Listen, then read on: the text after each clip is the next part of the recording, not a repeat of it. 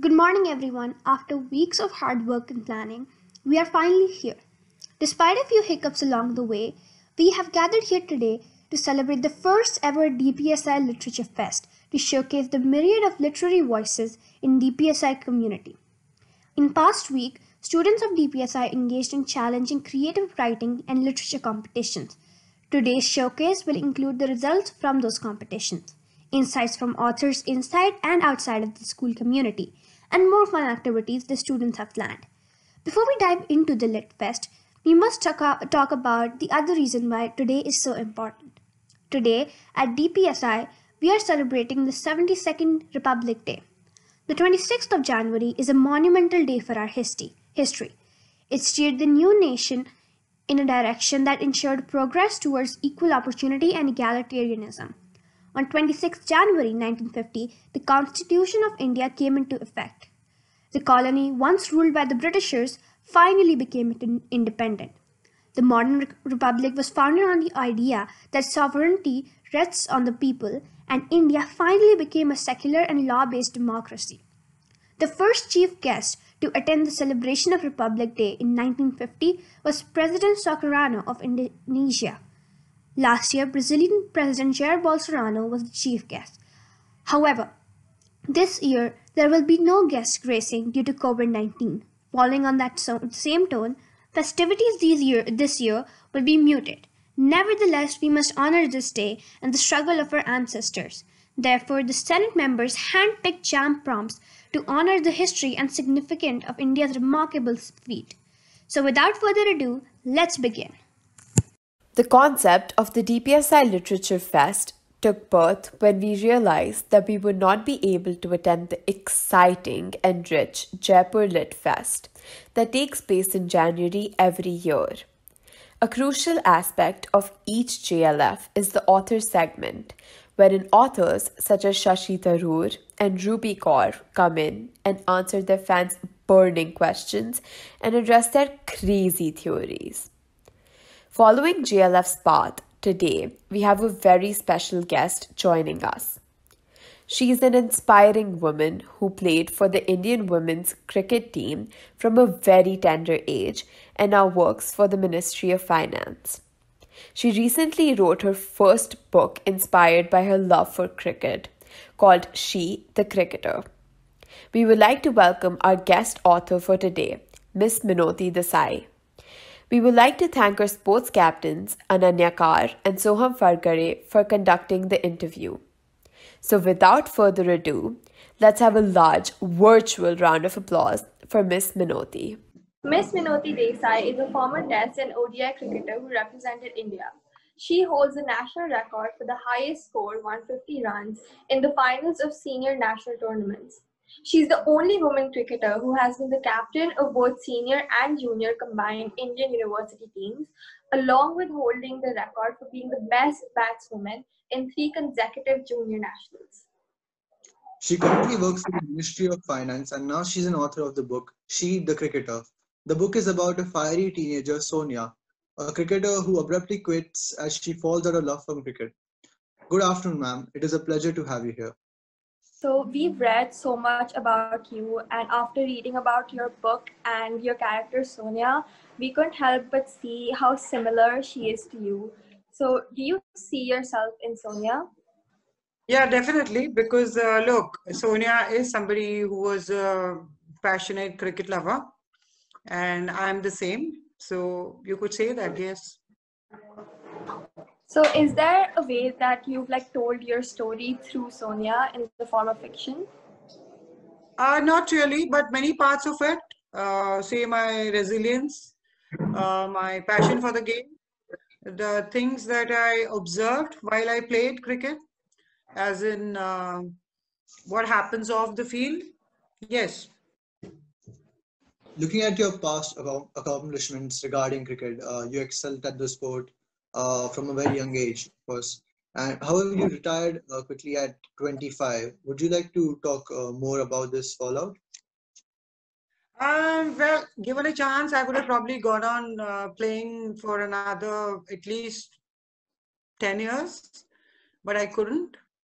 And uh, yeah, there were a lot of personal reasons. So. Um, do you think your love for cricket is the same as it was when you started playing? I think it's more now because uh, somewhere deep down, uh, as I could not uh, fulfill my dreams, I mean, yes, it was a pride playing for India. It was a big honor because uh, that's the best thing that has ever happened to me.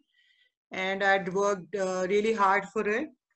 And, uh, but I do think that um, when I quit for a few years, I was away from the game uh, because uh, not wanting to think about it because like how uh, your generation people might have a passion about something, you know, it could be studies, it could be something else. For me, for me, cricket was the one and only thing I uh, ever knew. And for years, I dreamt about cricket even after having stopped playing. But um, as time went by, I realized that uh, I have fallen more in love with it.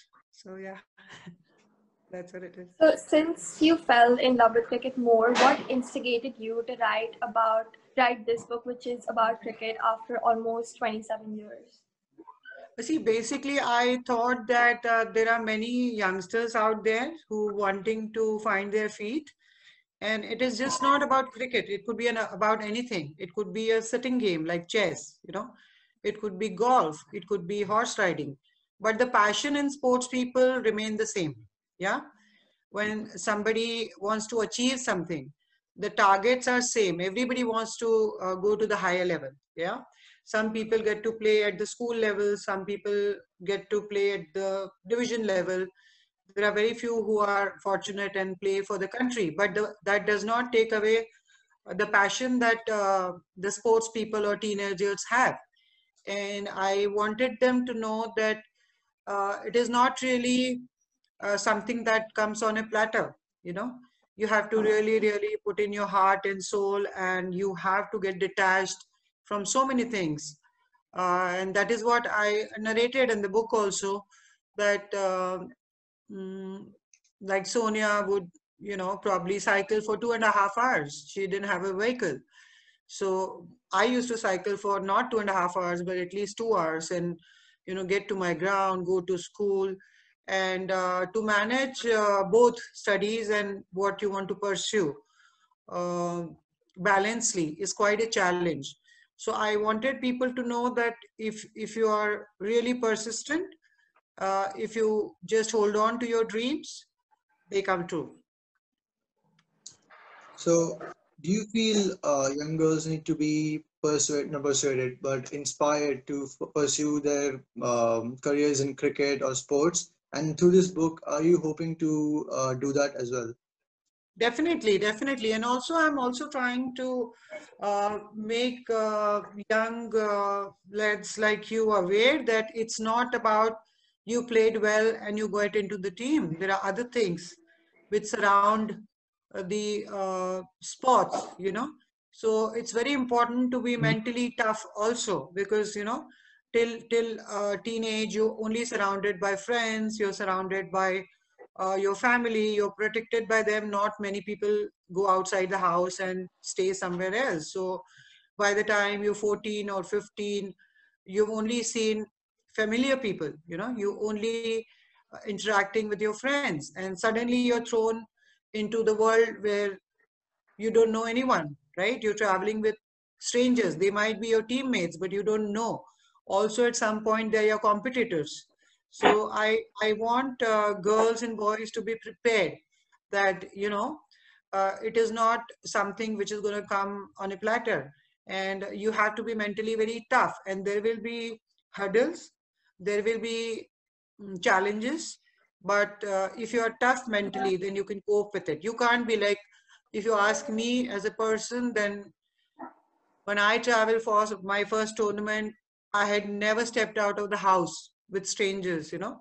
So suddenly traveling in trains with strangers and suddenly doing so many things which I had not done earlier. Like supposedly I only used to drink milk. And uh, when I first time traveled, we could only get tea. And I said, where's my glass of milk? And everybody started laughing. Like, you know, those days uh, they could not, women cricketers wouldn't get a glass of milk also. So these are the basic challenges that uh, I want to paint this picture that, uh, yeah, pursue your dream, but be mentally tough. That is what is the story all about. So you've talked about your challenges as a woman cricketer in your time, but have you uh, like is, are there any similarities like after just listening to you i could draw some similarities between um, the character sonia? So have you mirrored your challenges in your book as sonia? Yeah definitely. I mean i have. I have. But that does not mean that it is my story. I've been saying this. I've spoken to many people, I've, I've given many interviews, and I've been repeatedly saying that that does not mean that this is my story. But yes, like I'm a cricketer, she is a cricketer, right? Now, if you say that Sonia liked the game, and I say that I love the game, so that'll be a lie. You know, I have to portray the feeling of this character I'm trying to pen down. So the passion, the resilience, uh, the toughness, the challenges, uh, they are more or less the same. Yeah. In the blurb of the book, uh, you mentioned the games being played uh, by the who's of who of the cricketing world. Do you think Yes. these games still continue to this day? And would you like to elaborate on that? Uh, Well, I don't know about today, but yeah, in in in my times, uh, definitely, like I said, that suddenly you are thrown with challenges challenges of being with strangers who could be your competitors, who could be you know who you might be doing better than, and uh, there are things that at young age you may not understand that you why suddenly you know.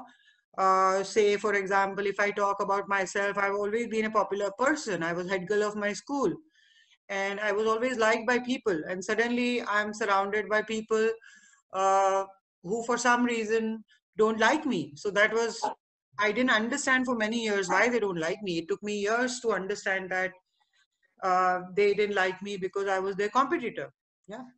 so So that is um, what you I'm saying. So, so my my entire idea of you guys talking to you today is that I basically want this word to go around amongst your school or your friends or anybody that it's it's not bed of roses you know you you have to be tough that is that is the whichever field whichever sports you know apart from the physical thing that you uh, push yourself into like you have to obviously if others are in, running two miles you have to run that extra mile to be ahead of them.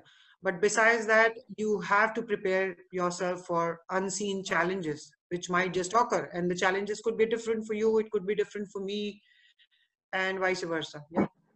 So since you've talked about your challenges already, and as a uh, as a girl who plays sports myself, I've seen how many challenges you've gone through. But um, was this like this, some of the challenges that you mentioned were some of these some reasons why you quit cricket at such a young age? Uh, well, I can't really say that. Um, at least on records, I can't say that. But uh, yeah, definitely, because uh, like I said, I, I come from a background of very simple and moralistic people. And uh, for me, it was uh, challenging to face and deal with it. But uh, I wouldn't blame anybody, you know, because it's it's your own it's your own uh, character that makes you decide something and somewhere for me it was important that i quit when i quit so yeah but yeah next birth i'll want to be cricketer again.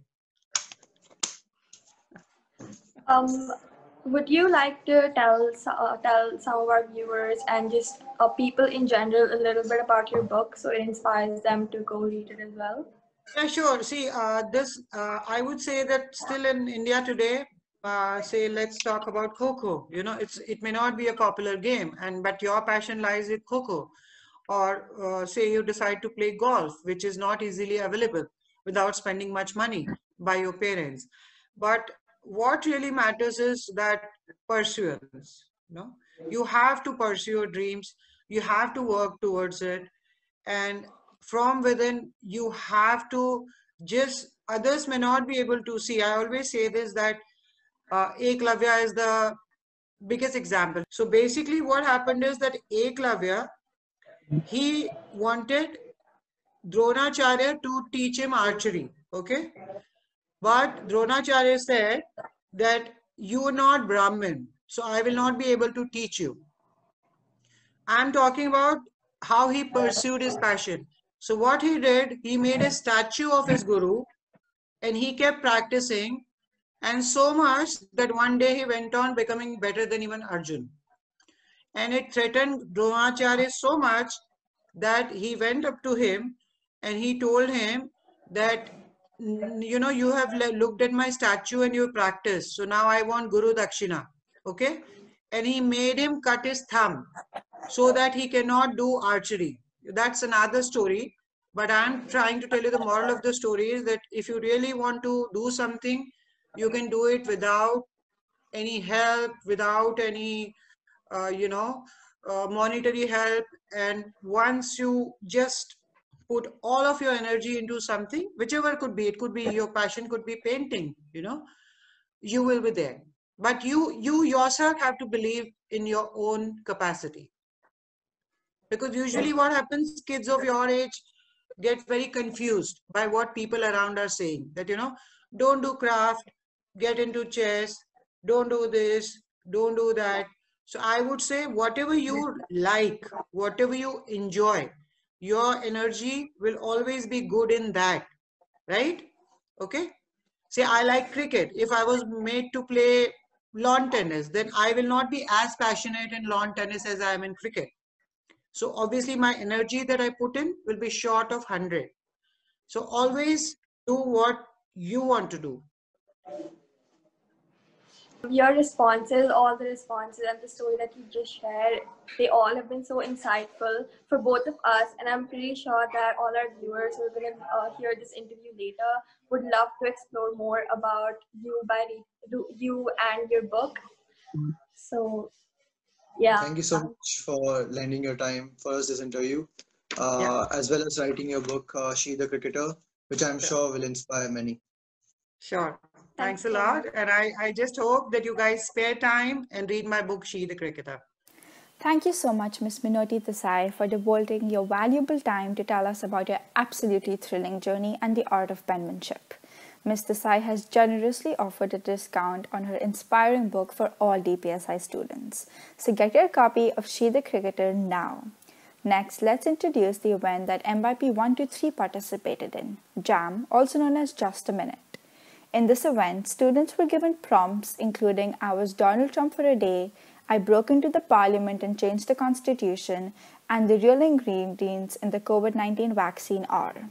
Students were given five minutes preparation time for the impromptu speech. This form of speech requires excellent critical and creative thinking.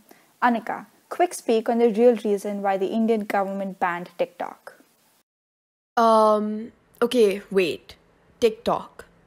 Charli D'Amelio. India, um, Narendra Modi. I'm sorry, but this isn't my cup of tea. Anyway, moving on. The following video is Niharika Awasthi's entry, who bagged first place representing Churchill House. Yay, good job, Churchill! Good afternoon, students and teachers. My name is Niharika Awasthi. I am from MYP 1B representing Churchill House in the Just a Minute competition. My topic was I broke into the parliament and changed the constitution. Here's my speech.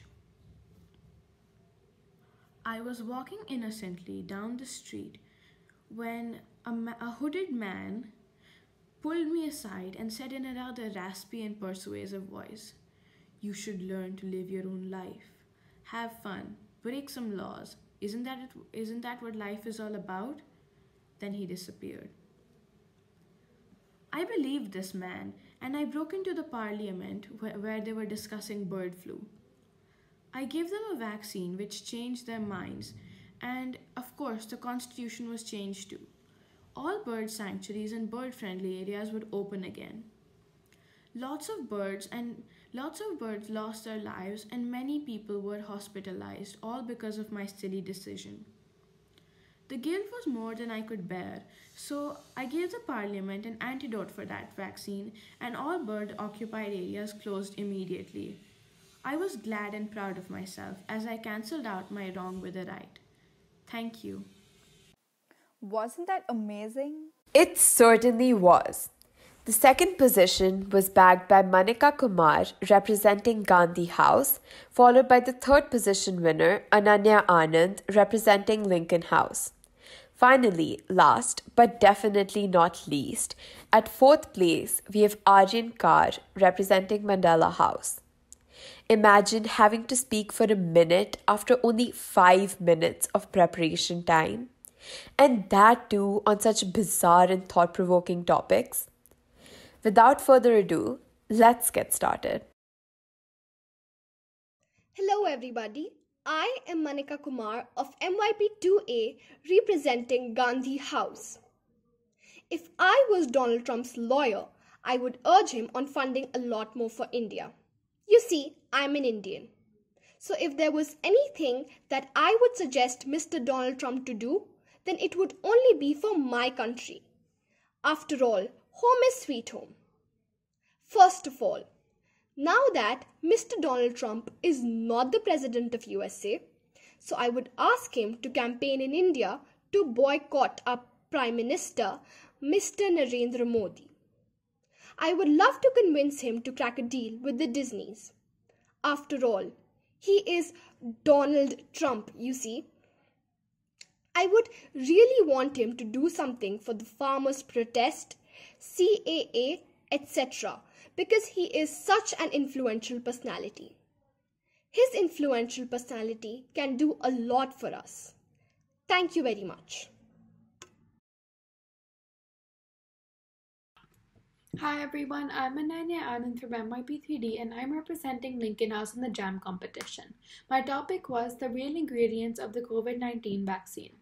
The biggest debate on social media this year has been trying to discover the real ingredients of the COVID vaccine and why people with a nut allergy can't take the shot. Some people have gone to the extent to proclaim that there's nuts in the vaccine, but I'm certain there isn't. Why would anyone want to infuse nuts into our body? It's certainly not bound to protect us from this deadly virus. From the various scientific yet unbelievable articles I've been reading, it seems like it's an mRNA of the virus, too small to infect us but large enough for us to fight it and develop antibodies for future protection. For some reason, I can't believe these articles. It all just doesn't seem to add up. How is it possible for 23 people to die after taking the shot? Vaccines are meant for protection and precaution. Sure, these people were old and fragile, but I would rather not take the risk. Nobody seems to know the real ingredients of that vaccine, but the curiosity inside of me doesn't seem to stop building up. The real ingredients are being withheld from us, whether it's something from nuts to hazardous chemicals to a numbing witch's potion or mRNA.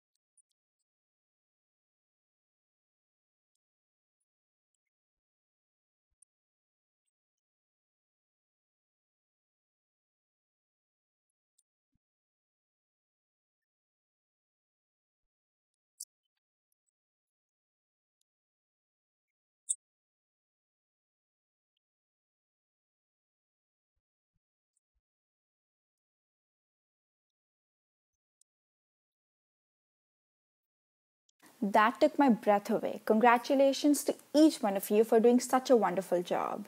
Our next event is slam poetry. Students of MYP4 to DP2 participated in this event. For those of you who are unfamiliar with slam poetry, it is a verbal form of poetry which is spoken in front of an audience and a panel of judges. This form of poetry is very important through a cultural and social context as it breaks barriers and misconceptions that poetry is only for the elite class. The judges had a tough time deciding the winner, but the long awaited result is Antara Gupta representing Lincoln House. Even though we're not going to be showing the other videos today, the second position was bagged by Aditi Kar representing Gandhi House, followed by the third position winner, Kashika Lat representing Mandela House. Finally, last but definitely not least, at fourth place, we have Inika Anand representing Churchill House. My name is Antara Gupta. I'm a student of MYP4B, and today I will be reciting a poem named Lemons Out of Lemonade. I hope you enjoy. How do you build yourself up when you're broken in a million pieces? How do you find you again in this pit of shattered glass? How do you find purpose in the pain, meaning in the mess, and beauty in the broken? All there was was a crack, a mere crack that over time split, snapped, and splintered. When I realized there was no me anymore, who was I? I is the hardest word to define. How can I be one when there are a million selves inside, twisting and turning and tangled? Maybe I was never one. Maybe we're all made up of a lot of people, collecting pieces of our I along this journey called life. Maybe we were never whole to begin with just like mosaic. I will be art made from small, broken pieces of me, revealing something far more beautiful, wonderful, and powerful than ever whole. As we make choices, good or bad, as we lose our mind or find our mind, as we fall in love or as we fall apart, retreat the world or dive into its beauty, make things or break things, collecting pieces of ourselves in the most unlikely places, growing our mosaic. But in the end, when we find purpose to our pain, look for meaning in our mess, and discover the beauty in our brokenness, we find ourselves. Thank you. Now, you must be wondering why I titled my poem Lemons Out of Lemonade. Now, the common, the conventional saying is that when life gives you lemons, you make lemonade. But I recently learned a new philosophy of lemons out of lemonade. Uh, it's it says that you know when life splits and snaps and splinters your spirit, it takes the you out of you. You have to build yourself back from that slimy, squashed, sad lemonade and rise again as a happy, fat, whole lemon. And while I was writing the poem and experimenting around with the words, I also created a melody to go along with it to accompany uh, the words that they are like lyrics to a song. So I'd love to share a snippet of it with you.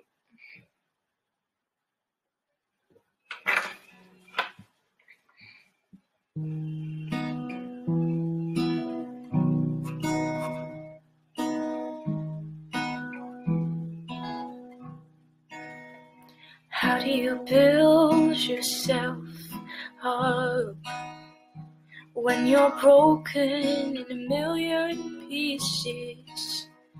How do you find you again in this pit of shattered glass? How do you find purpose in the pain? Meaning